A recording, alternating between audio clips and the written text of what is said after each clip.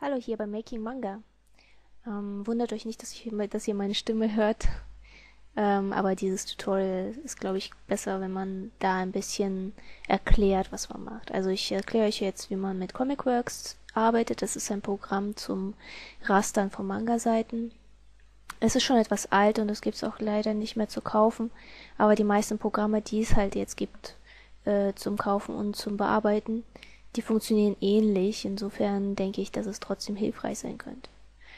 Ähm, also ich habe hier ein Bild geöffnet. Ähm, es ist ein Bitmap-Bild, das heißt, es gibt nur Schwarz und Weiß. Und nur dieses Format kann Comicworks bearbeiten. Deswegen ähm, ist es hilfreich, das Bild schon in diesem Format anzulegen. Ähm, bevor ich anfange mit dem Rastern, muss ich eine neue Ebene anlegen. Und ja, auf dieser Ebene werden dann un unsere Raster liegen. Ähm, wenn man wirklich ganz gründlich sein will, kann man auch für jedes Raster eine eigene Ebene einsetzen, aber solange sie sich nicht überlappen, äh, macht es eigentlich keinen Unterschied. Also mit dem äh, Auswahlwerkzeug wähle ich die Fläche aus, die ich gerastert haben möchte.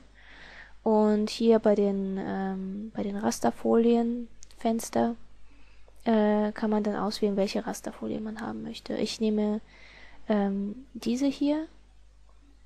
Die ist äh, schon ganz gut.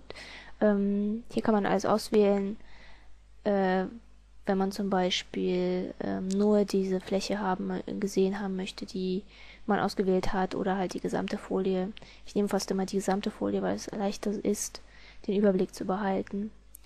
Äh, mit diesen Reglern hier kann man drehen oder zoomen, was ich nicht empfehlen würde. Also zoomen ist kein besonders guter, also wenn man vor allem für den Druck äh, arbeitet, weil die Raster dadurch ziemlich ähm, aufgeschwemmt werden. Also, wenn man das positioniert, dann drückt man auf OK und dann rechnet er es aus. So. Ähm, und wenn man dann äh, die Ränder weghaben will, ich, empfehle ich das Federwerkzeug und dann auf weiß zu stellen ähm, weil damit kriegt man die äh, Punkte am sichersten weg. Allgemein empfehle ich zum Arbeiten mit dem Computer, also zum Bildbearbeiten vor allem ein Grafiktablett zu haben, weil mit der Maus, ähm, da wird man irre. Also wenn ihr ein Grafiktablett habt oder überlegt euch eins anzuschaffen, ähm, ist es schon eine ganz gute Idee, wenn man ganz viel mit Computer arbeiten möchte. Ähm, ja, ich radiere also das Überschüssige weg. Es ist etwas äh, umständlich, das zu machen, aber ähm, wenn man es gründlich haben will, dann kommt man nicht drum rum. Also man könnte natürlich auch genau äh, das auswählen, was man gerastert haben möchte, aber das ist, dauert auch ewig. So, jetzt äh, habe ich die Haare fertig. Dann gehe ich über zu der Maske und dazu ähm, fülle ich erstmal die Flächen aus, die ich schwarz haben möchte, mit schwarz. Dazu nehme ich das äh, Eimerwerkzeug und den Rest ähm, benutze ich den Zauberstab, um es so ähm, auszuwählen, was ich gerastet haben will. Und dann benutze ich das ähm, Verlaufswerkzeug. Ähm, dazu habe ich eingestellt, hier ist das kleine Fenster dazu, dazu habe ich eingestellt, dass es in, in einem Kreis verlaufen soll und die Linienstärke äh, 60, das ist die, wie fein die Folie ist.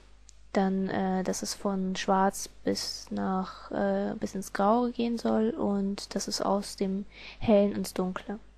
So, und dann äh, gebe ich sozusagen vor, wie die, das Verlauf sein soll. Und dann schaue ich mir an, ist es okay so, mir gefällt es noch nicht, deswegen mache ich es nochmal neu. So ist besser. Also es ist immer, meiner Meinung nach ist es immer ganz gut, wenn es nicht super symmetrisch ist, weil es dann irgendwie ein bisschen lebendiger aussieht. So, und dann gehe ich zum Kleid über. Die obere Seite fülle ich einfach wieder mit dem Eimer.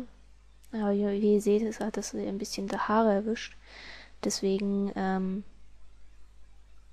äh, fülle ich hier die Haare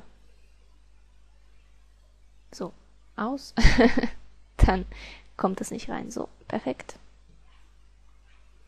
Und die Unterseite des Rocks möchte ich gerne gerastert haben, deswegen fülle ich hier auch die äh, Lücken. damit das ähm, der Zauberstab in die Lücken geht, nicht zwischen die Lücken geht und mir das ganze Blatt füllt. So. Und dann nehme ich den Zauberstab. So, aber der hat leider nicht alles gefüllt, deswegen ist der Zauberstab nicht immer die perfekte Wahl. Also auch wenn er ähm, oft die Arbeit erleichtert, manchmal vergisst er eben auch ähm, Flächen und dann muss man alles nachbearbeiten.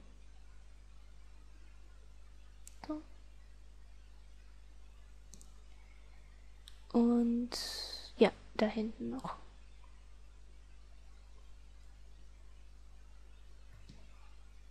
Und hier. So, dann müsste alles erwischt worden sein. So, und jetzt nehme ich auch nochmal den Verlauf und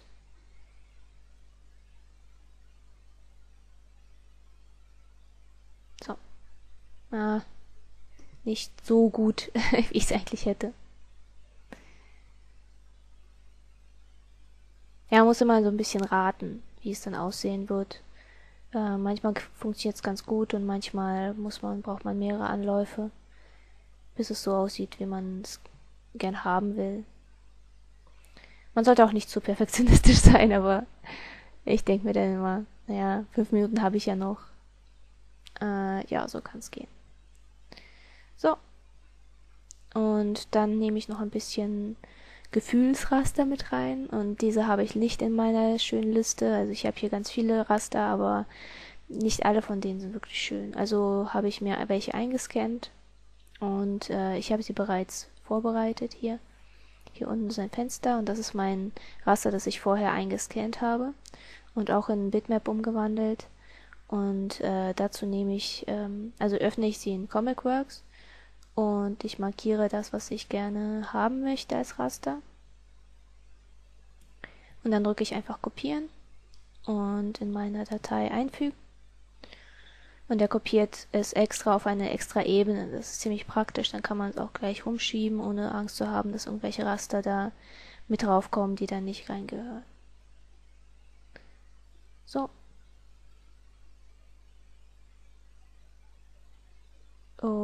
Und ich nehme noch ein anderes. Zum Beispiel das hier.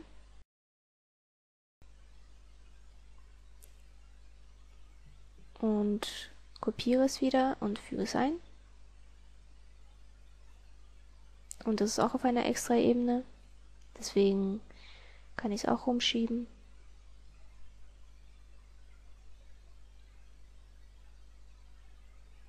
So, damit ist das Bild mehr oder weniger fertig. Ähm, ich könnte da noch Stunden dran sitzen, aber es ist ja nur zu Dem Demonstrationszwecken. Also wie ihr seht, ist das Programm ziemlich praktisch und sehr leicht zu bedienen.